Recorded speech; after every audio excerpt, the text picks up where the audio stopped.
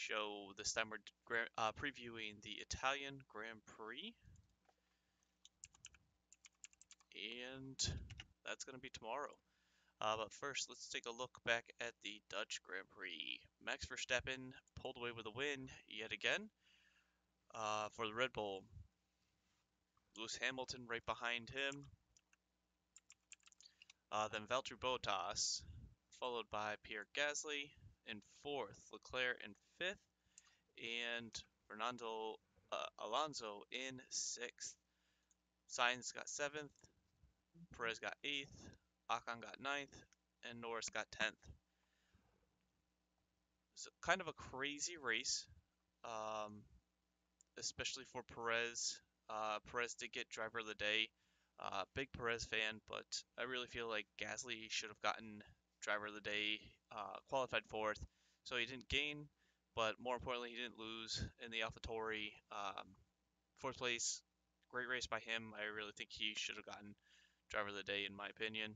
Um, even with all the great stuff that Sainz did, um, you know, for Gasly to fend off uh, the Ferraris and McLarens and Alpines and um, everything. I think he just had a great race. Should have gotten. He is my driver of the race. Um, but other than that, uh, pretty crazy race. Uh, back to qualifying. Qualifying's a mess. Drivers stopping, going, causing all sorts of problems. That's why uh, Perez was so far behind. Uh, you know, he started in the back, pitted, pitted, pitted, lots of pits. Um, and again, Red Bull uh, just outmaneuvered, out out uh, performed Mercedes, and just did a better job planning. So good on them for that. And uh, leaves us with the drivers' standings. Verstappen takes over the lead uh, by five points. Hamilton's in second. Bottas up to third, going past Norris. Uh, Norris again in the last race. Um, whoops, going the wrong way. Uh, Norris did not get any points, or no, sorry, got 10th, so he only got one point uh, in the race. So Bottas goes ahead of him into third, Norris down to fourth, Perez is in fifth, Leclerc is sixth, Sainz in seventh. Uh, Leclerc goes over Sainz, Perez, uh, Gasly went in eighth, Ricciardo ninth, Alonso tenth, Ocon eleventh, Vettel twelfth, Tsunoda thirteenth, Stroll fourteenth, Russell fifteenth, Latifi sixteenth, Raikkonen 17th, Giovinazzi 18th. I think I got those backwards. Uh, Schumacher and Mazepin both have zero points. Uh, Mazepin continues to be a pain to Formula One, and embarrassment, and uh, again should not be racing. But dad's got money, so that's all that matters.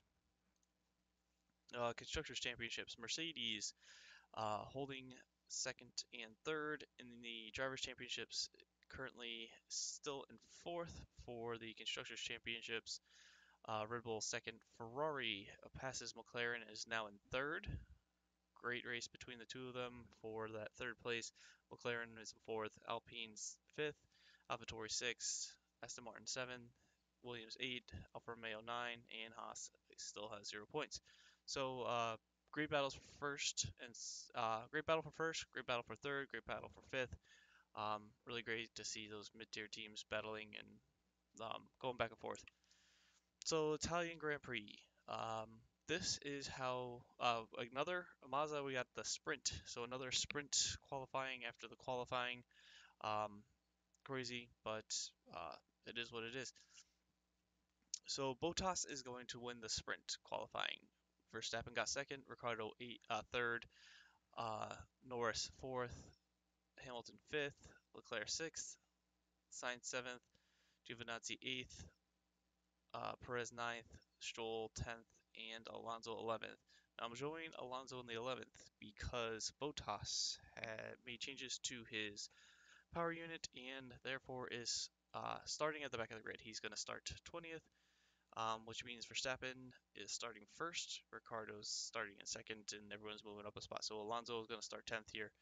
Um, strange. I'm not sure if that means Verstappen's actually starting at P um, in the first spot, or he's you know starting where P2 usually would be. they didn't really go over that, um, but Bottas does pick up some points for winning this, um, and we'll go over why that's kind of important in a little bit. But um, with the sprint, a little bit of contact right in the beginning. Gasly went out, um, lost his nose, and got stuck under his tire after a little bit of contact, and is was out of the race. Um, because I was hoping for uh, some more from him. So he's gonna start ninth, tenth, I guess. I'm not sure. Um, but uh, McLaren's held off the Mercedes. You know, Hamilton I don't think was pushing it too much to try to get around Norris, but um, you know Norris did a great job. It's gonna the McLarens and Mercedes are much faster than the Red Bull, especially on these tracks. So it'll be interesting to see what happens tomorrow. Uh, Ricciardo and Verstappen, um, seeing them up, up together again, that's pretty fun. Um, Monza classic track, um, lots of straights, and uh, should be interesting. Two DRS zones here. Um, next race is September 26th, the Russian Grand Prix in Sochi, and it's a fun track. Be fun to watch another Mercedes track. So we'll see how this one goes. Probably give us a preview to that race.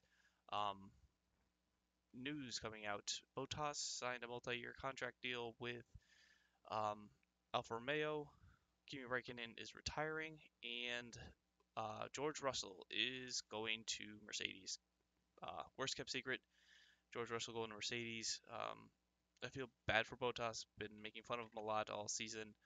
Um, but that's not on him. That's on Mercedes. Mercedes, if they weren't messing up so much, I really feel like he would be, you know, one or two in the championships, constructor championships. Mercedes been holding him back, favoring Lewis. Um, especially in the last race, we saw Bottas set the fastest lap, and then he was told to pull off. He would have been even faster. Uh, Hamilton got the fastest lap. You know, Mercedes been favoring Hamilton for years, and Bottas just been following uh, following orders. So it'll be interesting to see what happens now that Bottas knows his job is up. I think we got about five races left after this, so let's see what happens when Bottas, you know, has nothing left to lose.